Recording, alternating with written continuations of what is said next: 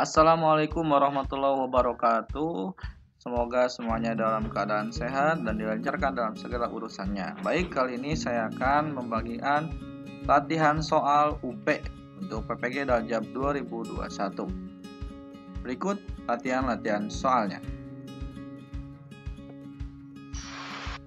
Soal nomor 1. Teknologi dan media berperan penting dalam proses peningkatan kualitas hidup manusia tidak terkecuali dalam dunia pendidikan.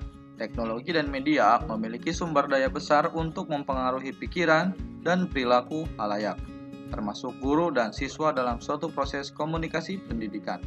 Asumsi tersebut merupakan pernyataan teoritik dari Silakan pilih jawabannya. Jawaban yang benar adalah A. Determinisme teknologi dan efek media. Soal nomor 2. Guru menunjukkan pengetahuan, keterampilan, dan proses kerja yang mewakili profesional inovatif dalam masyarakat global dan digital. Merupakan deskripsi dari standar. Manakah jawaban yang tepat? Jawaban yang tepat adalah A. Model kerja dan belajar digital age. Soal nomor 3. Sebagai sebuah karya peradaban mutakhir, TIK berkembang pesat dalam perannya sebagai fasilitator pembelajaran. TIK pun juga bisa menjadi media itu sendiri, yang disebut sebagai Jawaban yang tepat adalah C. Media konvergensi. Soal nomor 4. Guru menunjukkan pengetahuan, keterampilan, dan proses kerja yang mewakili profesional inovatif dalam masyarakat global dan digital. Merupakan deskripsi dari standar. Silakan pilih jawaban yang tepat. Jawaban yang tepat adalah A. Media menjadi institusi otonom atau independen terhadap lembaga sekolah dan kemudian menjadi lebih terintegrasi dengan institusi pendidikan. Soal nomor 5. Penetrasi TIK dalam pembelajaran semakin mendorong lembaga sekolah memanfaatkan teknologi canggih ini. Bukan saja sumber daya TIK memang begitu besar untuk memberikan kontribusi terhadap kualitas pembelajaran, tapi sebagai bagian dari revolusi industri 4.0, siapa pun tidak bisa menghindar terhadap hadirnya gelombang baru ini. Dari sudut pandang teknologi pendidikan, TIK memang terbukti memiliki sumber daya besar untuk membantu peningkatan kualitas pembelajaran. Atas dasar argumen itu, mana pernyataan berikut yang Anda anggap benar?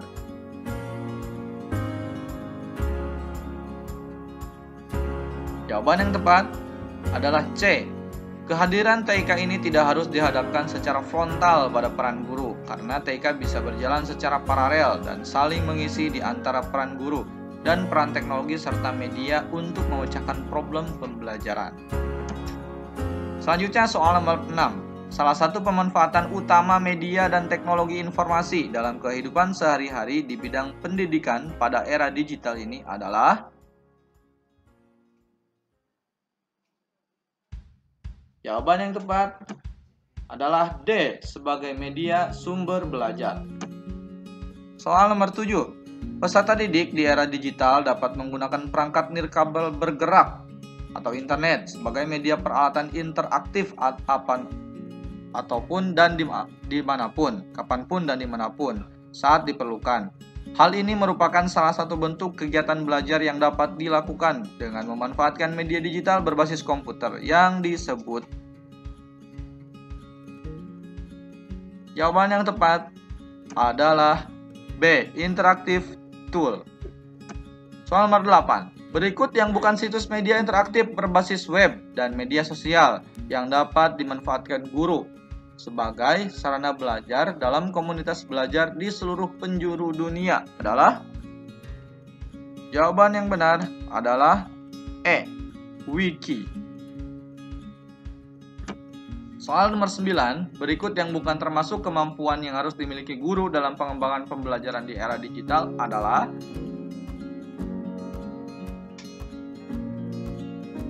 Jawaban yang tepat adalah D. Interacting with other. Soal nomor 10. Ilustrasi dari pesatnya penggunaan media dan teknologi digital dalam kehidupan sehari-hari pada abad 21 ditandai dengan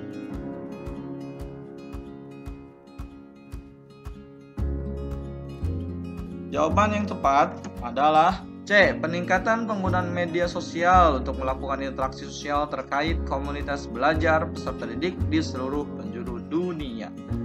Soal nomor 11, salah satu pemanfaatan utama media dan teknologi informasi dalam kehidupan sehari-hari di bidang pendidikan pada era digital ini adalah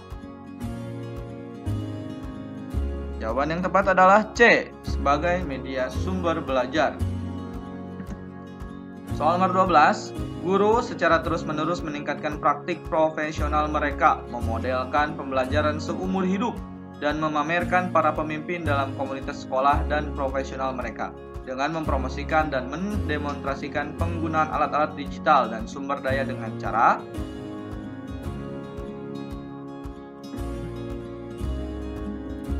Soal yang tepat adalah B. Memfasilitasi dan menginspirasi pembelajaran dan kreativitas siswa. Selanjutnya 13. Peserta didik di era digital dapat menggunakan perangkat nirkabel bergerak atau internet sebagai media peralatan interaktif kapan pun dan di mana pun saat diperlukan. Hal ini merupakan salah satu bentuk kegiatan belajar yang dapat dilakukan dengan memanfaatkan media digital berbasis komputer yang disebut ya ini yang sudah dibahas tadi adalah interaktif Betul. 14.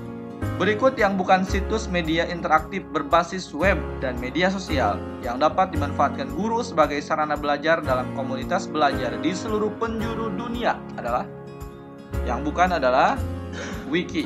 Ini juga yang sama sudah dibahas tadi. Selanjutnya 15. Berikut yang bukan kemampuan yang harus dimiliki guru dalam pengembangan pembelajaran di era digital adalah sebagai berikut. Jawaban yang tepat adalah interacting with other. Ini yang bukan ya, ini juga yang sudah dibahas. 16. Ilustrasi dari pesatnya penggunaan media dan teknologi digital dalam kehidupan sehari-hari pada abad 21 ditandai dengan Nah, ini juga sama yang sudah dibahas tadi. Coba jawabannya apa? Ya, benar sekali, yaitu peningkatan penggunaan media sosial. Guru menunjukkan pengetahuan, keterampilan, dan proses kerja yang mewakili profesional inovatif dalam masyarakat global dan digital. Merupakan deskripsi dari standar. Ini juga sama, sudah. Coba jawabannya yang mana? Jawaban yang tepat adalah yang A. Betul sekali. Model kerja dan belajar digital age. 18. Guru dalam pembelajaran berbasis digital menggunakan perangkat digital hand hand Hal ini sesuai peran guru dalam pembelajaran berbasis teknologi digital berupa Jawabannya yang tepat adalah A. PRS atau Personal Response System. 19. File multimedia berbasis internet yang diformat untuk dapat diunduh langsung ke perangkat seluler adalah pengertian dari ini berupa file. Jawaban yang tepat adalah podcast.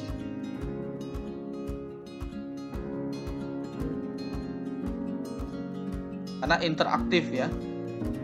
Selanjutnya, salah satu contoh konkret penggunaan aplikasi untuk media pembelajaran yang digunakan guru saat pembelajaran di kelas pada era digital adalah Jawaban yang tepat adalah PowerPoint. 21. Rancangan pembelajaran abad 21 yang harus disiapkan guru mencakup tiga hal pokok berikut yang bukan termasuk tiga hal pokok tersebut adalah Ya, jawaban yang tepat adalah tujuan pembelajaran. 22. Model pembelajaran kooperatif learning berikut yang paling sesuai untuk membelajarkan membaca dalam bahasa Indonesia adalah Silakan pilih jawabannya. Dan jawaban yang tepat adalah A. Team Games Tournament atau TGT. Rancangan pembelajaran di abad ke-21 diharapkan dapat disusun oleh guru dengan tujuan untuk Jawabannya adalah A. Mengembangkan potensi siswa melalui pemanfaatan teknologi berbasis komputer dan media online. Soal nomor 24, model pembelajaran yang sering diterapkan guru pada pembelajaran abad 21 di antaranya. Silakan pilih jawabannya. Jawaban yang paling tepat adalah problem based learning. Soal nomor 25. Mengapa dukungan infrastruktur pembelajaran berperan penting dalam pencapaian kompetensi di abad 21? Jawabannya adalah karena menjadi faktor penunjang yang signifikan. Itu jawabannya E. 26. Penyusunan rancangan pembelajaran pada kurikulum 2013 tentang penilaian menyesuaikan karakteristik belajar abad 21 bercirikan. Jawabannya adalah adanya penilaian autentik. Soal 27. Peraturan Menteri Pendidikan dan Kebudayaan Nomor 22 Tahun 2016 tentang standar proses pendidikan dasar dan menengah menyebutkan komponen rancangan pembelajaran berikut yang tidak termasuk komponen RPP yaitu Jawabannya adalah betul sekali, penilaian kepala sekolah. 27. Siswa membuat keputusan dan membuat kerangka kerja dan terdapat masalah yang, yang pemecahannya tidak ditentukan sebelumnya. Hal ini merupakan ciri khas dari model pembelajaran. Jawabannya adalah project based learning.